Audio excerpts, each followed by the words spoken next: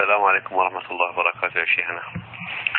آه معي أحد الأصدقاء في العمل يا شيخ من آه من تنزانيا. فيسأل هو كان في خلاف مع زوجته آه على أساس أنه آه ينزل الولد. كانت المرأة حامل في الشهر الأول أو في الشهر الثاني حامل فطلب منها تنزل الولد. فهي رفضت. فما حكمه طلبوا منه يعني الحكم انه طلب من المرأة تنزل الولد.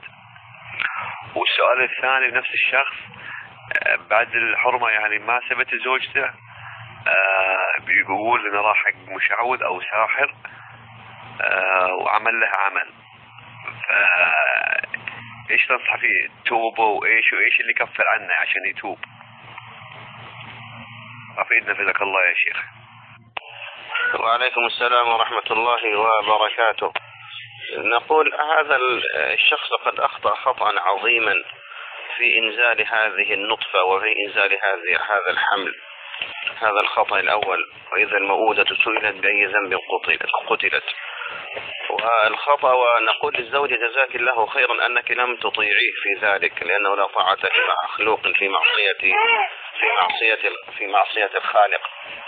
أضف إلى ذلك أنه يعني نسأل الله العافية والسلامة هناك من الناس من لا ذرية له يتمنى غفر طفل. فكيف هذا مثل هذا يأتيه الله عز وجل بهذه النعمة؟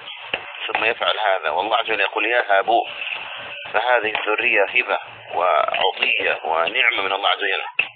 ولا سيما أنه ليس هناك شيء يضطره إلى أن يسقط هذا الطفل والجنين. نسأل الله العافية والسلامة. فهذا الفعل فعل منكر ونسأل الله السترة من هذه الأفعال. وفيه كفر للنعمة والله عز وجل يقول توعد أمثله ولقال ألم ترى الذين بدلوا نعمة الله كفرا وحلوا قومهم دار البوار؟ نسأل الله السترة والعافية والسلامة. ثم أضف إلى ذلك أنه فعل فعلا عياذا بالله من الموبقات ومن نواقض الإسلام أنه ذهب إلى كاهن وذهب إلى ساحر ليطلب منه أن يعمل عمل. جاء عند أبي داود حديث صحيح قال عليه الصلاة والسلام من أتى كاهنا أو عرافا فسأله فصدقه فقد كفر بما أنزل على محمد. نسأل الله العافية والسلامة. والسحر من الموبقات ومن نواقض الإسلام نسأل الله العافية والسلامة. فعليه أولا أن يجدد إسلامه أن يتوب إلى ربه توبة نصوحا من هذا الذي فعل ومن هذا المنكر العظيم. ومن تاب تاب الله عليه والتوبة تجب ما قبلها. فعليه أن يبتعد عن السحرة وأن لا يأتيهم لأن من أتاهم فقد كفر بالإسلام.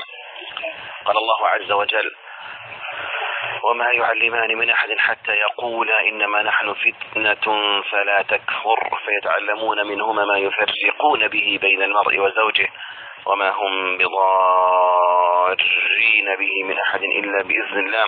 ويتعلمون ما يضرهم ولا ينفعهم. ولقد علموا لمن اشتراه ما له في الآخرة من خلاق. ولبئس ما شرى به أنفسهم لو كانوا يعلمون.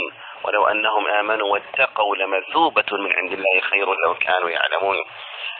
فعليه أن يتوب توبة نصوح وأن يجدد إسلامه وإيمانه ودينه وأن لا يرجع لهذه الأفعال من الذهاب إلى المشعوذين ومن إسقاط الأجنة في بطون أمهاتها وأن يكثر من الأعمال الصالحة وأن يسح الدموع توبة لربه تبارك وتعالى ومن تاب تاب الله عليه. صلى الله عليه محمد وآله وصحبه وسلم آخر دعوانا الحمد لله رب العالمين.